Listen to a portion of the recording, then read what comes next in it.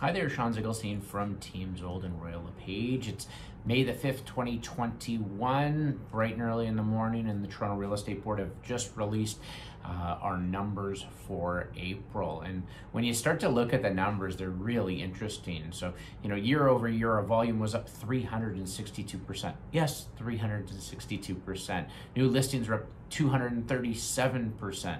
Prices up 33% the numbers look amazing because of course last April is when we had our you know first uh, record of the shutdown uh, for COVID and of course what happened was the real estate market stalled last April before kicking into gear last May.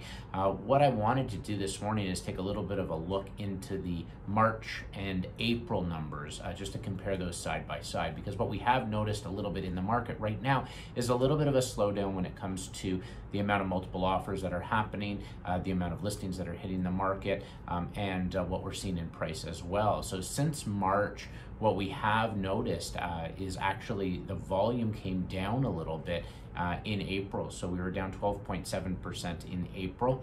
Um, what we did notice as well, though, is that average price did remain relatively stable. I think we were down eight or nine thousand uh, dollars, which really at the end of the day is a pretty stable number. Um, we are starting to see more inventory hitting the market as well. Uh, we're noticing it in our area. Uh, other agents that I've spoken to across the country are noticing it in theirs. So we're not seeing the frenzy that we were seeing in previous months. Uh, but that being said, it's still a very strong real estate market right now. Don't get me wrong.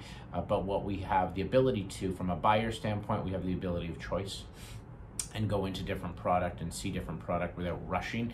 Um, from a seller standpoint, we really just have to make sure that their house shows well and is priced very well. So we're either pricing at market value uh, a little bit more now than we were previously, where we were pricing for those multiple offers, uh, but we are adjusting that on a regular basis. So we're looking at every single listing that we're putting on the market on a daily basis. And just before we're about to hit market, that's when we're coming up with our strategy. So if you know someone who's looking uh, to get get into the market, uh, to get out of the market, uh, just need some real estate advice, please feel free to pass along our name to them. I'd be happy to help them out. Uh, thanks for uh, watching our little video here. Uh, and of course, remember, don't get sold, get Zold.